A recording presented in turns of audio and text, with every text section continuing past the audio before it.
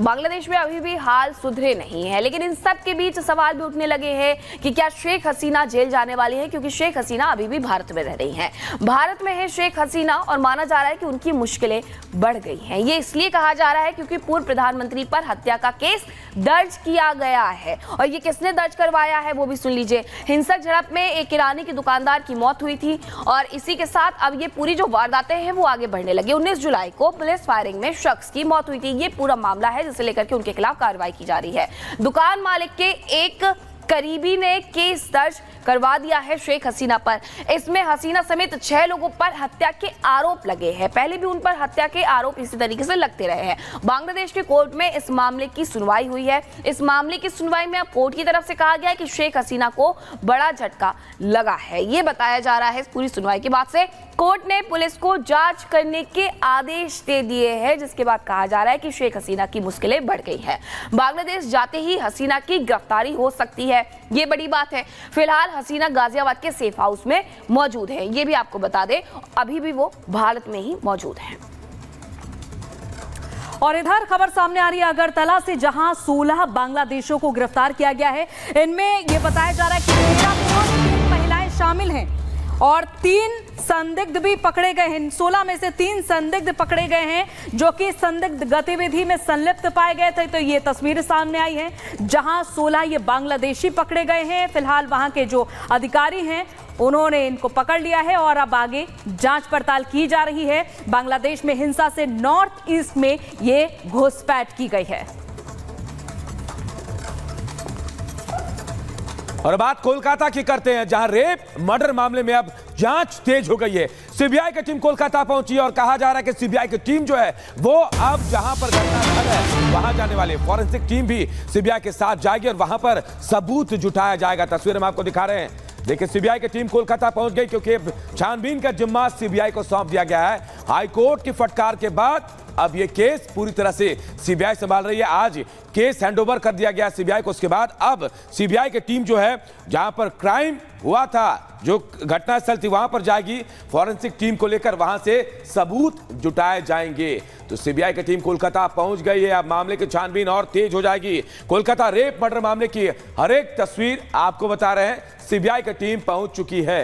हमारे साथ कलकत्ता से हमारे सहयोगी प्रियंका जुड़ी हुई है। प्रियंका कलकत्ता हाईकोर्ट की तरफ़ से ये कहा गया था कि सीबीआई को ये पूरा केस सौंप दिया जाए। सीबीआई की टीम भी पहुँचने वाली है, लेकिन ये केस किस तरीके से अब आगे बढ़ने वाला है? सबसे पहले सीबीआई की टीम कहाँ जाएगी और किस तरीके से इस छानबीन को आगे बढ़ाएगी?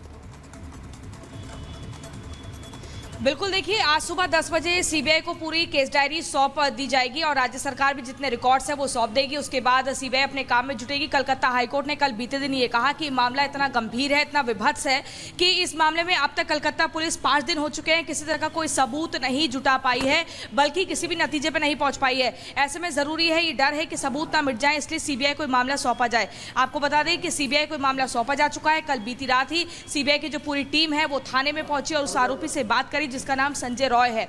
आज आरजीकर अस्पताल में जाकर पहुंचेगी और जिस सेमिनार हॉल के अंदर इस पूरी घटना को अंजाम दिया गया था, वहाँ पर जाकर एक एक सबूत जुटाकर कड़ियों को जोड़ने का पूरा प्रयास किया जाएगा। साथ ही आपको बता दें जो परिवार के लोग हैं पीड़िता के परिवार माता पिता उनका रो रो बुरा हाल है। उनका कहना है कि पुलिस पर हमें पूरी तरह से शक है, पहले दिन से विश्वास नहीं है। दिल्ली से सीबीआई अफसरों की टीम पहुँची कोलकाता। आज जेके अस्पताल जाएगी सीबीआई की टीम। ट्रेनी महिला डॉक्टर केस की करेगी जाँच। जम्मू कश्मीर के डोडा में सुरक्षा बलों का ऑपरेशन जारी। सुरक्षा बलों ने चार पाकिस्तानी आतंकवादियों को घेरा। आतंकियों और सुरक्षा बलों के बीच गोलीबारी जारी। यूपी के कुशीनगर में पुलिस और बदमाशों के बीच मुठभेड़। मुठभेड़ में पच्चीस हज़ार का इनामी बदमाश गिरफ़्तार। अवैध तमंचा तीन ज़िंदा कारतूस और बाइक बरामद। यूपी के बुलंदशहर में पुलिस और गौ तस्करों के बीच मुठभेड़। गोलीबारी के दौरान एक तस्कर के पैर में लगी गोली। दूसरे तस्कर ने खुद को सरेंडर किया। यूपी के मथुरा में पुलिस और बदमाशों के बीच मुठभेड़ हो गई जहाँ फायरिंग के दौरान दो बदमाशों के पैर में लगी गोली। मौके से पुलिस ने बरामद किए सोने चांदी के आभूषण और ज़िंदा कारतूस। पटना में बदमाशों के हौसले बुलंद। दबंगों ने डेयरी बूथ का संचालक को मौत के घाट उतार दिया। गोली मारकर मौके से फरार हुए बदमाश छानबीन कर रही है पुलिस। अगरतला रेलवे स्टेशन पर पकड़े गए 16 बांग्लादेशी नागरिक तेरह पुरुष और तीन महिलाएँ शामिल जिसमें गिरफ़्तार किए गए लोगों में से तीन व्यक्तियों की पहचान अवैध गतिविधियों में शामिल होने के रूप में हुई है।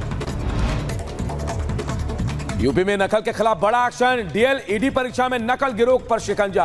आजमगढ़ से पकड़े गए 12 नकल गिरोह सदस्य छापेमारी में 18 लाख कैश बरामद सेंटर का प्रिंसिपल भी गिरफ़्तार किया गया। दिल्ली के आईजीआई एयरपोर्ट पर ड्रग्स की बड़ी खेप पकड़ी गई जहाँ कस्टम विभाग ने 14 करोड़ के 14 करोड़ से ज़्यादा के ड्रग्स बरामद कर लिए हैं। दोहा से आए एक तंजीनियाई नागरिक को ड्रग्स के साथ गिरफ़्तार किया गया है। सोनभद्र में दबंगों के हौसले बुलंद हाथ पैर बांधकर युवक की डंडे से पिटाई की गई।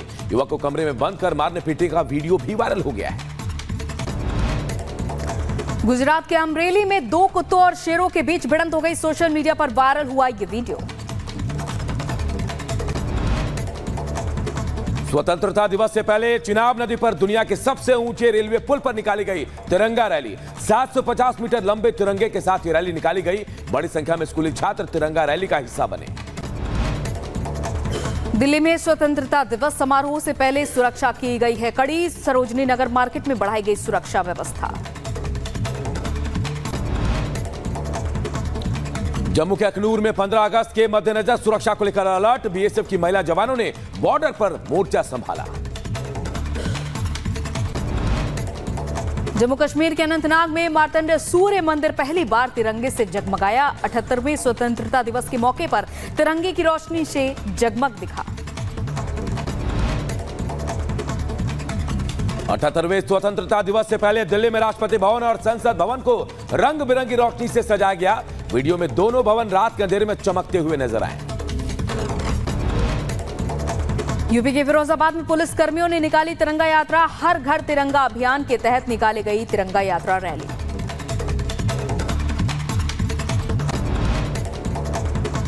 उन्नीस सौ सैंतालीस में हुए भारत के विभाजन पर यूपी के मुख्यमंत्री योगी आदित्यनाथ का ट्वीट लिखा राजनीतिक स्वार्थ के लिए विभाजन की त्रासदी की ओर ढकेला गया था देश।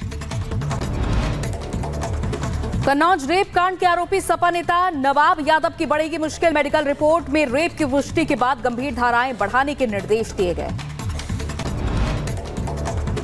कन्नौज की पीड़िता का जिला कोर्ट में बयान दर्ज मजिस्ट्रेट के सामने दर्ज कराया गया बयान। आज पॉक्सो कोर्ट में सुनवाई। मुख्य आरोपी नवाब सिंह के साथ अब पीड़िता की बुआ पर भी पुलिस का शिकंग, शिकंजा कस सकता है। बयान दर्ज कराने नहीं पहुँची थी पीड़िता की बुआ। पुलिस ने मुकदमा दर्ज कर बुआ की तलाश शुरू की। कोलकाता में महिला हत्याकांड को लेकर देश भर में उबाल यूपी में गोंडा की सड़कों पर दिखा डॉक्टरों का विरोध। निकाला गया कैंडल मार्च। बांग्लादेश के अल्पसंख्यकों पर लगातार हमलों के बीच एक और हिंदू मंदिर और घर में आग लगा दी गई। रात आठ बजे के करीब उपद्रवियों ने मुकुल चंद्र रॉय के घर और मंदिर पर हमला कर दिया। अंतरिम सरकार प्रमुख मोहम्मद यूनुस के आवास के बाहर हिंदू समुदाय के लोगों ने प्रदर्शन किया। अयोध्या मंदिर की तस्वीर वाला पोस्टर लेकर प्रदर्शन किया गया। हमार माटी हमरो माँ ऐसे चलबो ना के लगाए गए नारे। इस्तीफे के बाद पहली बार शेख हसीना ने जारी किया अपना बयान, कहा कि मेरे पिता और शहीदों का हुआ है अपमान। 15 अगस्त को राष्ट्रीय शोक दिवस के रूप में मनाएँ और बर्बरता करने वालों को मिले सजा। रूस और यूक्रेन के बीच जंग जारी। यूक्रेनी सैनिकों ने रूस में घुसपैठ की। यूक्रेनी सेना ने रूस की सेना पर किया हमला। हमले की नई तस्वीरें भी सामने आई।